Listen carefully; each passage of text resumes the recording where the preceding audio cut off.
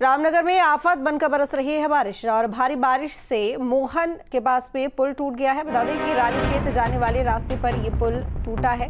पुल टूटने से लोगों की आवाजाही प्रभावित हो रही है। तो रामनगर की ये तस्वीर, जहाँ पर आफत बनकर बारिश बरस रही है, भारी बारिश की वजह से पुल भी टूट गया है। रानीखेत जाने वाले रास्ते पर यह पुल बना हुआ है, जो कि अब टूट गया है। पुल टूटने से लोगों की आवाजाही प्रभावित हो रही है।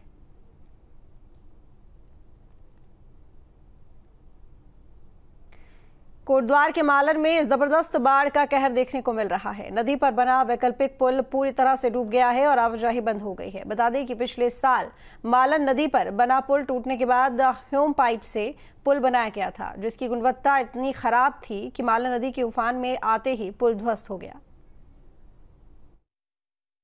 पाइप से पुल नहीं बनता है।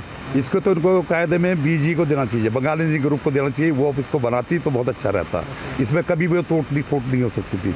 इतने पैसे जिनने इसमें लगाए हैं, उतने पैसे में बीजी वाले इसको बना सकते थे।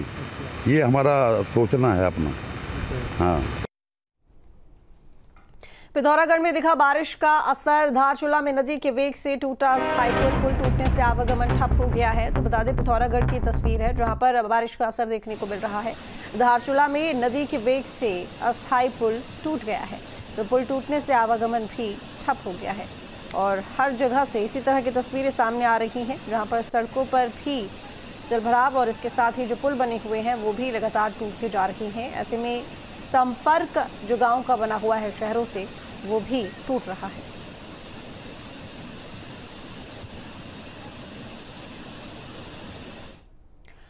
अल्मोड़ा में मूसलाधार बारिश का असर देखने को मिला है। अल्मोड़ा, हल्द्वानी, एनएच एक बंद हो गया है और बिल्डर माफ़ कीजिएगा, बोल्डर गिरने से आवाजाही प्रभावित हुई है, प्रशासन ने सतर्क रहने की अपील की है। तो बता दें कि अल्मोड़ा से खबर, जहाँ पर मूसलाधार बारिश का असर देखने को मिला, अल्मोड़ा, हल्द्वानी एन एच एक बंद हो गया है, बोल्डर गिरने से आवाजाही प्रभावित, प्रशासन ने सतर्क रहने की अपील भी की है। अनावश्यक रूप से सड़कों पर भी ना निकलें, आवागमन भी प्रतिबंधित रखें, और साथ ही यह भी अनुरोध करना चाहता हूँ कि सभी लोग सुरक्षित रहें और आसपास के लोगों को भी सुरक्षित रखें। अगर किसी भी समस्या आती है, कोई भी आपदा की स्थिति आती है तो आपदा के कंट्रोल रूम में तुरंत फ़ोन करके अवगत भी कराएँ और सभी एक दूसरे का ध्यान भी रखें।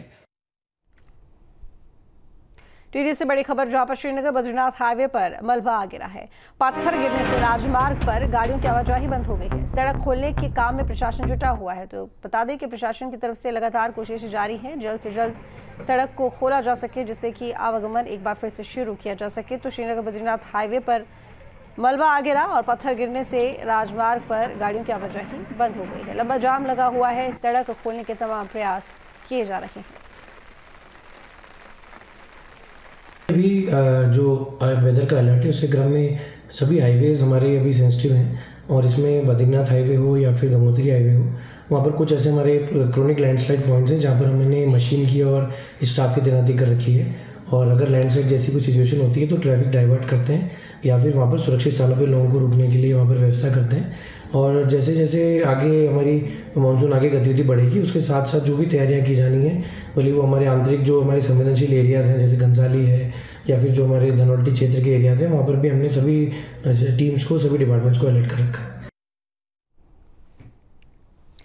हरिद्वार में बढ़ा गंगा का जलस्तर। बारिश से उफान पर है गंगा नदी। अलर्ट मोड पर राहत बचाव टीम प्रशासन ने नदी के पास जाने से मना कर दिया है और बता दें कि लगातार बढ़ते जलस्तर से लोगों में दहशत का माहौल भी है। हालाँकि प्रशासन की तरफ़ से लगातार लोगों को सतर्क किया जा रहा है।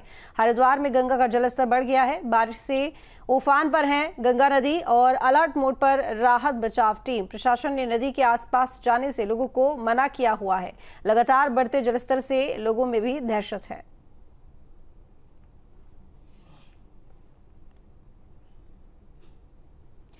ऋषिकेश से बड़ी खबर, मूसलाधार बारिश से तटबंध ध्वस्त हो गया है। तो बता दें कि तटबंध का एक हिस्सा टूटने से हड़कंप मचा हुआ है। गौशाला को भी पहुँची खासी क्षति।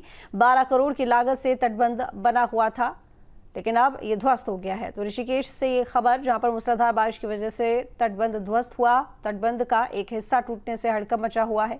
गौशाला को भी खासी क्षति पहुँची है। तो बारह करोड़ की लागत से ये तटबंध बन, तटबंध बनाया गया था।